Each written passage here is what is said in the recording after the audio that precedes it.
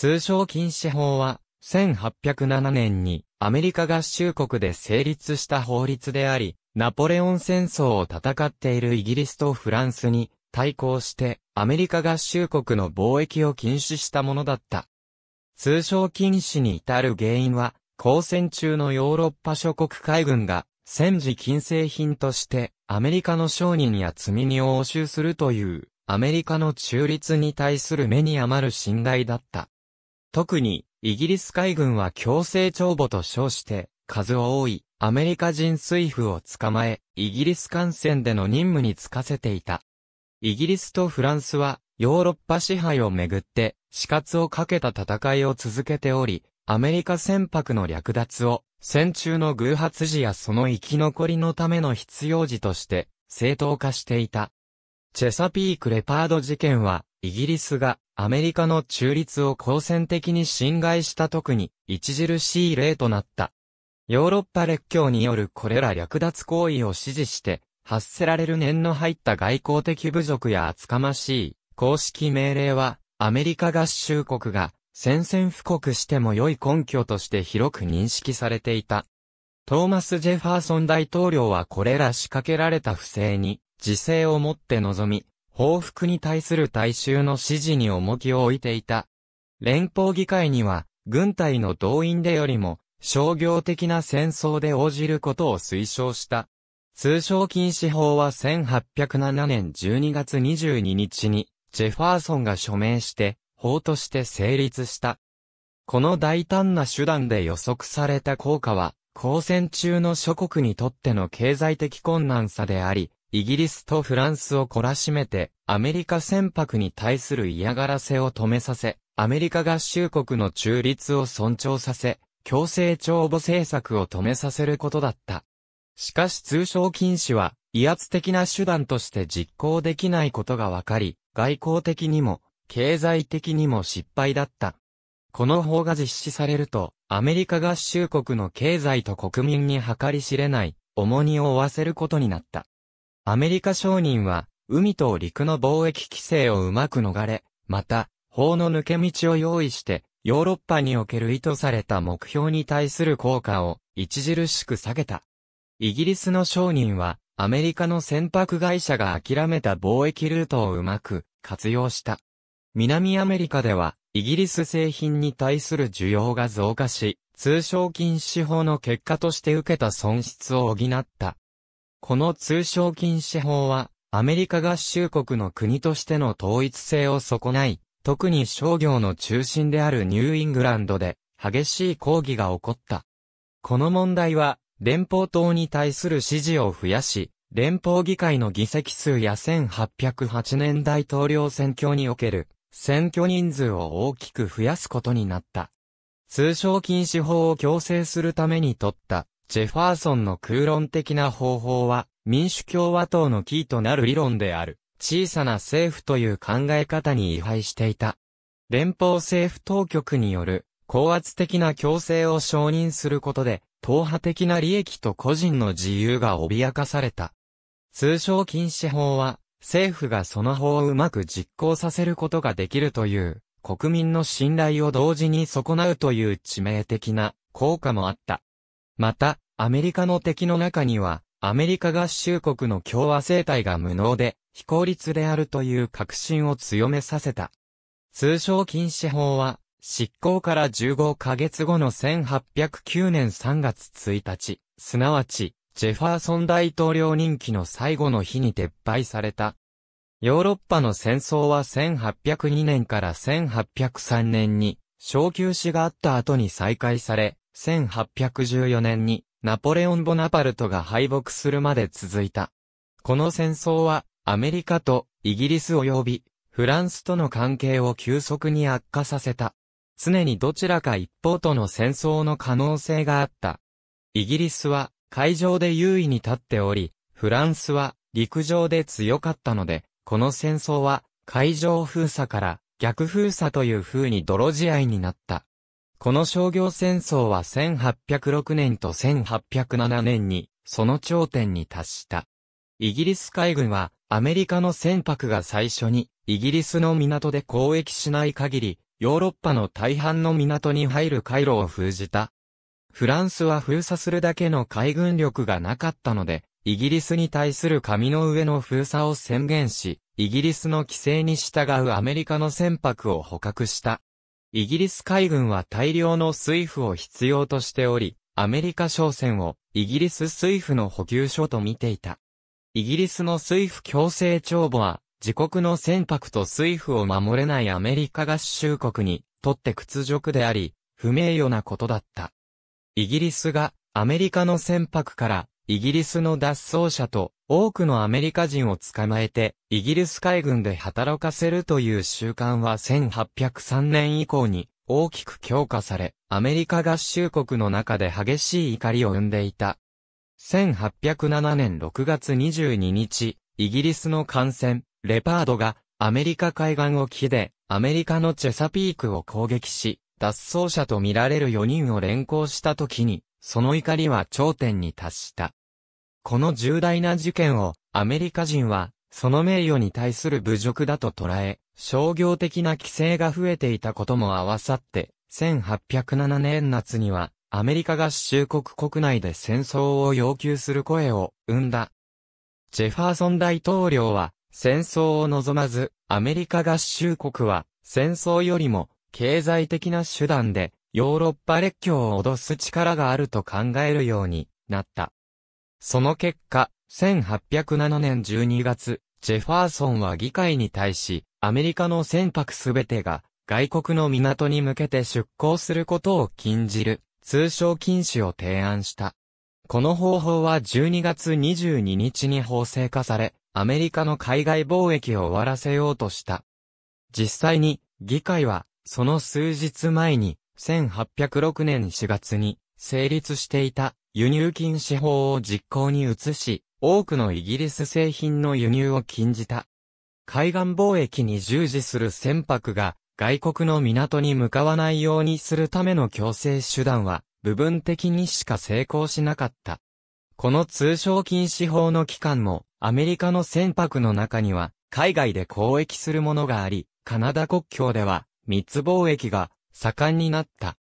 1807年12月22日に成立した通商禁止法は次のようなものだった。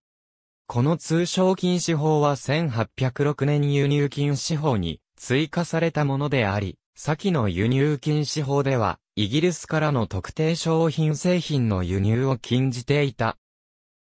輸入禁止された商品は、その主要価値を占めるものが、革、絹、麻あるいは甘、鈴あるいは真鍮、羊毛、ガラスであるものと定義された。さらに紙製品、釘、帽子、衣類及びビールが追加された。この1807年通商禁止法は、アメリカ合衆国一般法規2の451に登録され、正式名は、アメリカ合衆国の公安で船舶及び艦船に課す通商禁止とされていた。この法案は、ジェファーソン大統領の要請で起草され、その後12月22日に第10議会第1会期を通過した。当初議会は輸入を禁止する法案を作ろうと動いたが、最終的に輸出も禁じる法案が追加された。通商禁止法は1807年12月から1809年3月まで有効となったが、アメリカ合衆国の海外貿易を著しく減退させた。合衆国の中のあらゆる地域が影響を受けた。商業が盛んなニューイングランドや大西洋岸、中部では、船舶が桟橋で腐り、特に南部の農業地域では、農夫や農園主が、その生産物を国際市場で売れなくなった。ニューイングランドにとって、特に大西洋岸中部の州にとって、ヨーロッパ製品が希薄になったことは、国内の製造業の発展に対する絶対的な契機が与えられたという慰めもあった。イギリスは以前としてアメリカに対して製品を輸出できたので、通商禁止法はアメリカ人にとって財政的な危機だった。当初から抜け道があり、カナダからの沿岸用船舶、海外からの捕鯨船や、試略船の密貿易が見過ごされた。この法が広い範囲で無視されたことは、法の強制が難しいことを意味していた。ロードアイランド州が行った事例研究では、この通商禁止法で、船舶関連の産業を壊滅させ、既存市場を破綻させることを示しており、民主共和党に対する反対の声を増加させた。密貿易は大衆から広く受け入れられており、大衆は通商禁止法が自分たちの権利を侵害しているもの見ていた。大衆からの非難が続き、連邦党は1808年から1809年の議会で再び支配力を取り戻すことになった。この事例はアメリカの全国的外交政策が地方の政治的支持基盤の様相を変えたという珍しい例になっている。通商禁止法はその不人気な性格にもかかわらず、ある程度予期しない恩恵もあった。特にニューイングランドの繊維産業などの製造業に、資本や労働力が移動し、それまでのイギリス製品に対する依存度を下げた。バーモント州はその農産物の販路をカナダに頼っていたので、この通商禁止は、シャンプレーン湖やリシュリュー川の水上経路では、強制できなかった。ローワーカナダのセントジョンでは、1808年だけで、水路による密貿易額14万英ポンドが記録されており、1807年より31%増加した。石鹸製造に使われる海分の出荷額は5万4千英ポンドと2倍近くになったが、木材は23%落ちて1万1200英ポンドとなった。1795年の J 条約以降、5万英ポンドまで拡大していた工業製品は20%以上減少し、特に海岸地帯近くで製造された品目が顕著だった。理論的には通商禁止法に伴って出荷量が減少するはずだったが、新聞では湖水地方での活動がこれまでより増えたことを報道していた。密貿易は水路では規制されず、管理されていない陸の国境を越えて容易に物資が移動された。南木の交易は全体として3分の2増えたが、毛皮は3分の1減少した。税関職員は常に法を活発に強制する立場を取っていた。1809年のギャラッティンの強制法は、党派の問題だった。バーモント州民の多くは密輸監視官と密、貿易業者の興奮するようなゲームを好み、通常の貿易では得られない高い収益を上げた。通商禁止法をすり抜けたニューイングランドの商人は創造的で大胆で抜け目がなかった。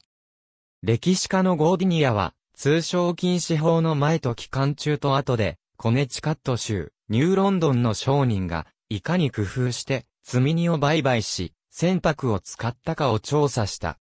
交易ルートと積み荷は外国向け及び国内向け双方であり、傭船の種類、その荷主や管理が組織化された方法を調べ、コネチカット州南東部の商人が危機に直面していかに抜け目無さを示したかが示されている。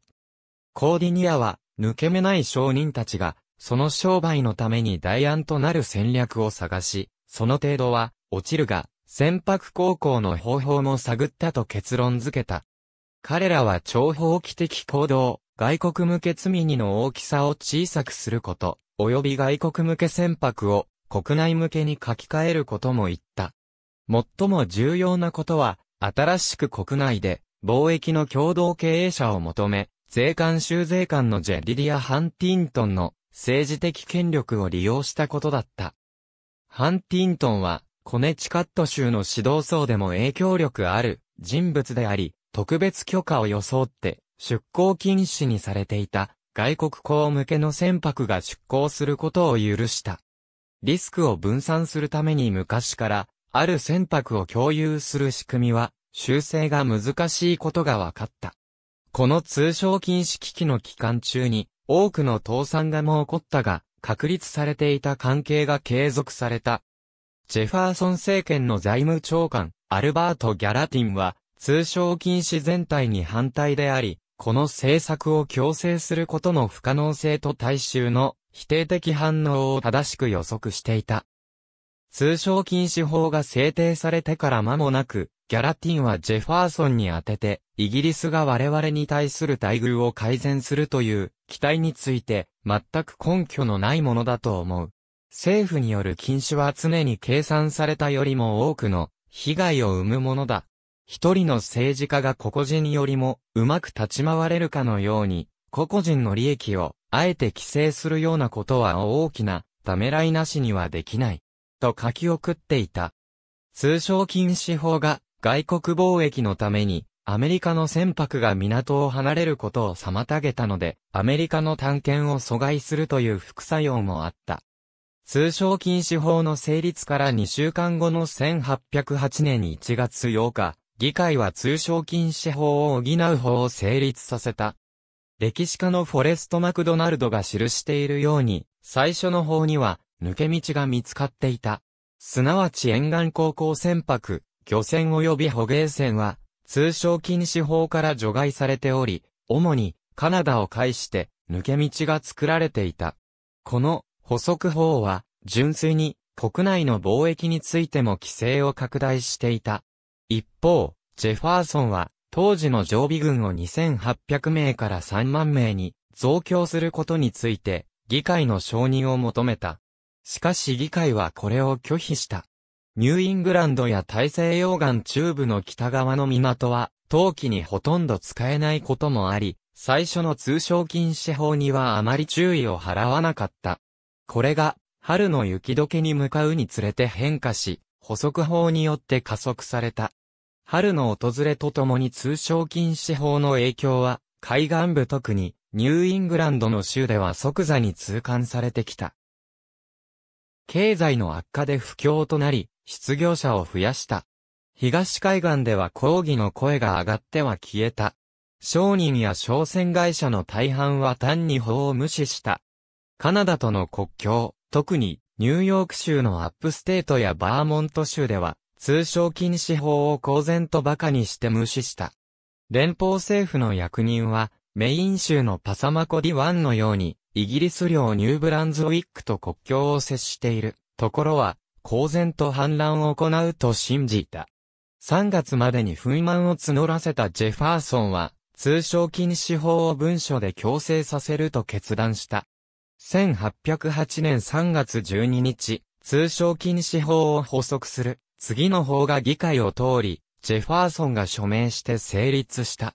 この補足法は初めて、陸路であろうと海路であろうと、いかがなる商品でも、すべての輸出を禁じた。違反者は1回につき1万ドルの過料と商品の没収が課された。通商禁止法を強制し、例外を否定あるいは許可する幅広い権限が大統領に与えられた。公安当局は、令状なしに貨物の押収権限を与えられ、単に通商禁止法を審判しようと企んでいると、みなすだけで、選手や商人を審判にかけた。このように罰則は厳しくなったが、市民や選手は、公然と通商禁止法を無視した。